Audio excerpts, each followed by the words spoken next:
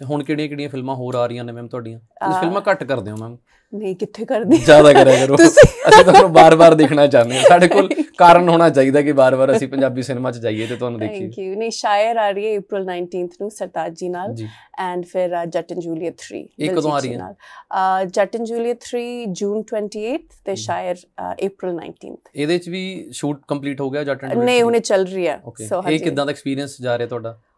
Amazing experience ਇਹ ਮਤਲਬ ਸਰਤਾਜ ਜੀ ਤੇ ਦਿਲਜੀਤ ਜੀ ਯੂ نو ਉਹਨਾਂ ਦੇ ਨਾਲ ਕੰਮ ਕਰਨਾ ਮੈਨੂੰ ਬਹੁਤ ਹੀ ਵਧੀਆ ਲੱਗਦਾ ਹੈ ਕਿਉਂਕਿ ਉਹ ਬਹੁਤ ਹੀ ਬਹੁਤ ਹੀ ਨਾਰਮਲ ਨੇ। ਮਤਲਬ ਕੋਈ ਐਕਸਟਰਾ ਨਹੀਂ ਕੁਝ ਨਹੀਂ ਆਪਦਾ ਕੰਮ ਕਰਦੇ and I think as co-stars ਮੈਂ ਜਿੰਨਾ ਜਦੋਂ ਸੀ ਜਦੋਂ ਤੁਸੀਂ ਆਪਦੇ ਕੋ-ਸਟਾਰ ਨਾਲ ਸੀਨ ਕਰਦੇ ਹੋ ਤਾਂ ਤੁਹਾਨੂੰ ਨਾ ਇੱਕ ਯੂ ਸ਼ੁਡ ਫੀਲ ਸੇਫ। ਤੇ ਇੱਕ ਕੰਫਰਟ ਲੈਵਲ ਹੋਣਾ ਚਾਹੀਦਾ ਹੈ ਸੋ ਉਹ। ਦੋਨਾਂ ਨਾਲ ਮੇਰਾ ਕੰਫਰਟ ਲੈਵਲ ਬਹੁਤ ਜ਼ਿਆਦਾ ਹਾਈ। ਆ ਸੋ ਹੁਣ ਤੁਸੀਂ ਪ੍ਰੋਡਕਸ਼ਨ ਵੀ ਕਰਨ ਲੱਗ ਗਏ ਹੋ ਮੈਮ। ਆਪਣੀ ਕੀ ਲੋੜ ਪੈ ਗਈ ਸੀ ਪ੍ਰੋਡਕਸ਼ਨ ਆਪ ਕਰਨ ਦੀ ਕਿਉਂਕਿ ਪਹਿਲਾਂ ਅਸੀਂ ਸ਼ੁਰੂ ਕੀਤਾ ਜਦੋਂ ਚੰਨੋ ਫਿਲਮ ਕੀਤੀ ਜੀ ਐਂਡ ਉਦੋਂ ਸੱਚੀ ਕੰਮ ਮਿਲ ਨਹੀਂ ਅਬ ਮੈਂ ਪ੍ਰੈਗਨੈਂਟ ਵੀ ਸੀਗੀ ਪਰ ਉਸ। ਤੋਂ ਬਾਅਦ ਵੀ ਕੁਝ ਕੁਝ ਆਇਆ ਨਹੀਂ। ਸੀ ਸੋ ਸੰਤੋਸ਼ ਜੀ ਕੋਲ ਇੱਕ ਸਟੋਰੀ ਸੀ ਅਸੀਂ 에어ਪੋਰਟ ਬੈਠੇ ਸੀ ਕਾਫੀ ਪੀ ਰਹੇ ਸੀ ਤੇ ਸੰਤੋਸ਼ ਜੀ ਨੇ ਮੇਰੇ ਹਸਬੰਡ ਨੂੰ ਤੇ ਮੈਨੂੰ ਸਟੋਰੀ ਸੁਣਾਈ ਤੇ ਮੇਰੇ ਹਸਬੰਡ ਨੇ ਕਿਹਾ ਕਿ ਬਣਾ ਲੈਂਦੇ ਆ ਬਸ ਇੰਨੀ ਕੀ ਗੱਲ ਸੀ।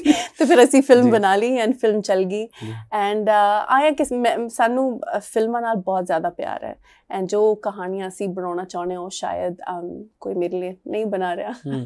ਸੋ ਅਸੀਂ ਆਪ ਹੀ ਬਣਾ ਹਾਂ। ਉਹ ਆਪਣੀਆਂ ਸਟੋਰੀਆਂ ਆਪ ਹੀ ਬਣਾ ਲੈਂਦੇ ਯੈਸ ਤੇ ਮੈਮ ਤੁਹਾਨੂੰ ਲੱਗਦਾ ਹੈ ਕਿ ਫਿਲਮਾਂ ਨਾਲ ਸਮਾਜ ਦੇ ਵਿੱਚ ਕੁਝ ਇੰਪੈਕਟ ਪੈਂਦਾ ਹੈ? ਫਿਲਮਾਂ ਲੋਕਾਂ ਨੂੰ ਲੋਕਾਂ ਦੀ ਮਾਨਸਿਕਤਾ ਤੇ ਮੈਨੂੰ ਲੱਗਦਾ ਕਿ ਅਸਰ ਤਾਂ ਪੈਂਦਾ ਹੈ ਬਟ ਇਹ ਵੀ ਨਹੀਂ ਹੋਣਾ ਚਾਹੀਦਾ ਕਿ ਯੂ نو ਇਹ ਜਿਹੜੀ ਜਿਹੜਾ ਰਿਸਪੌਂਸਿਬਿਲਿਟੀ ਦਾ ਤਾਜ ਆ ਕਿ ਫਿਲਮ ਮੇਕਰਸ ਦੇ ਉੱਤੇ ਹੋਣਾ ਚਾਹੀਦਾ ਹੈ ਕਿ ਯੂ نو ਆ ਨਹੀਂ ਦਿਖਾਉਣਾ ਉਹ ਨਹੀਂ ਦਿਖਾਉਣਾ ਕਿਉਂਕਿ ਇਹ ਫ੍ਰੀ ਸਪੀਚ ਹੈ ਫ੍ਰੀडम ਹੈ ਕਿ ਜੋ ਫਿਲਮ ਮੇਕਰ ਜੋ ਕਹਾਣੀ ਬਣਾਉਣਾ ਚਾਹੁੰਦਾ ਹੈ he should be able to make it ਨਹੀਂ ਤਾਂ ਕੋਈ ਵੀ ਖੜਾ ਹੋ ਜਾਂਦਾ ਕਿ ਨਹੀਂ ਆ ਕਿਉਂ ਬਣਾਇਆ ਉਹ ਕਿਉਂ ਬਣਾਇਆ। ਸੋ ਇੱਕ ਰੇਟਿੰਗ ਹੁੰਦੀ ਹੈ ਸੋ ਜੇ ਯੂ نو ਤੁਹਾਨੂੰ ਪਤਾ ਹੈ ਕਿ ਇਹ ਰੇਟਿੰਗ ਆ ਨਾ ਜਾਓ ਫਿਲਮ ਦੇਖਣ ਰਿਵਿਊ ਦੇਖ ਲਓ ਪਹਿਲਾਂ।